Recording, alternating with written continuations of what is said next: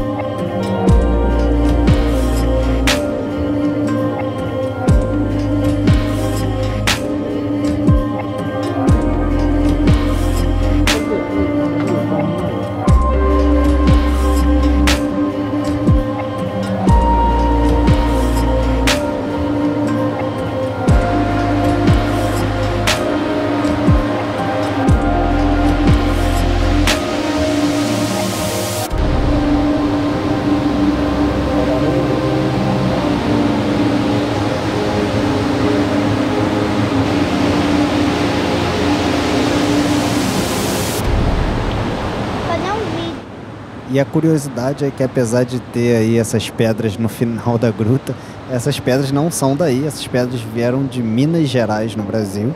E graças a Deus aí no final da visitação, a gente não precisa subir tudo de volta. Quer dizer, quase tudo, né? A gente sobe de elevador de volta para o nível da rua, só que a gente sai a 300 metros de distância da entrada. Coelhos. Olha aqui, olha, pai. Olha o degrau. Coelho gordo. Que cheiro engraçado, né? Caramba, que coelho enorme. Parece o coelhinho da Páscoa. Hum? Coelhinho da Páscoa com pulga. Isso é uma galinha da Angola. Ela fala, tô fraco, tô fraco. Pra quê, né? Criar pombo. Quanto pombo? Ixi, tá cheio de lama. Galinhas. Galinhazinhas. Pá, pá, pá, pá.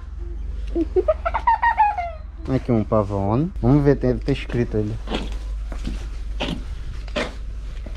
Não tem escrito não, mas não sei o que é isso não. É um tipo de galinha, Nina. Ali que é a entrada natural, sem ser da, do turismo. De quem descobriu, provavelmente. Olha o porquinho. Ó, algar, cavidade natural vertical, É, onde os caras entraram. um pouquinho tão fofinho, né? Olha, ele é amigo da aranha. Aqui, a teia. É, ó, da Carlota, Nil. A aranha, a teia da aranha e o porquinho. Igual o filme que você viu. Belo porco. Onde é que tá escrito? Esse porco tá muito magro. Ô, tem que comer comida, pá. Não é lama no chão, não. Vamos lá? Não. Ele é é um ganso, não? É um pato ou um ganso? E ali atrás tem um peru muito gordo. Pois é, um peruzão. Ei, pato. Você é pato ou você é ganso? A Júlia florista, boêmia e fadista, diz a tradição Foi nesta Lisboa, figura de proa da nossa canção. Essa aí é a famosa bochechinha de vaca que eu tanto falo. E o restaurante se chama Lanterna do Fado, fica em Gia Esteira, bem ao ladinho de Fátima. É de uma família muito simpática que sempre atende a gente muito bem quando a gente vai lá. E eu tô mostrando aí que a bochechinha é basicamente uma carne de costela com uma fatia de broa embaixo. Julia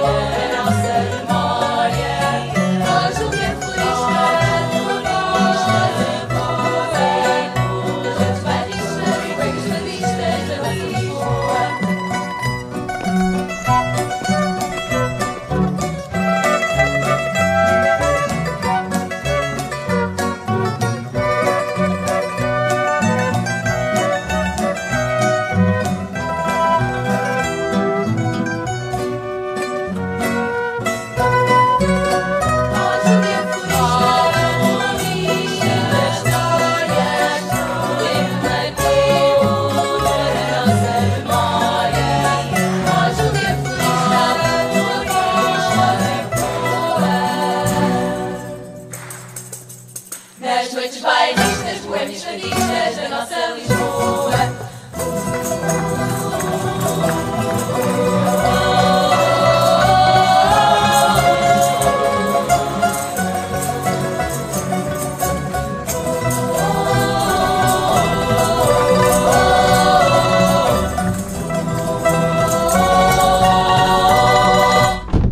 Finalmente a gente chegou em Covilhã e o Felipe já estava ansioso para voltar pro grande vício dele, que é futucar um controle para ver o que acontece. Chega a fazer bico. E esse hotel a gente gostou muito, o custo-benefício foi muito bom. Nós alugamos dois quartos e demos a sorte de ser aqueles tipos de quarto conjugado. Vai dormir muito aquecida. Descobri a diferença entre o nosso e o de vocês. Qual é? Varanda. Depois a gente foi provar uma pizza em cone que Natália achou e estava com vontade de comer. Não se surpreenda, a gente não come só comidas portuguesas, a gente come de tudo, como qualquer pessoa normal. Para encerrar, a gente foi dar uma voltinha pela cidade, ver as luzes de Natal e tentar comprar lenço umedecido para o Felipe.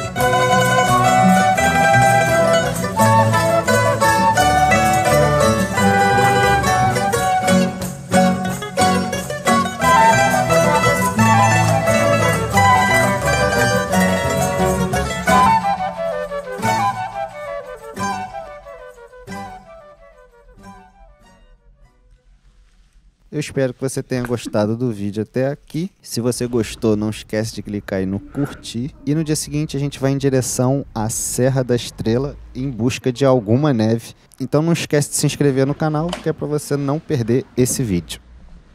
Botar para arrumar, né?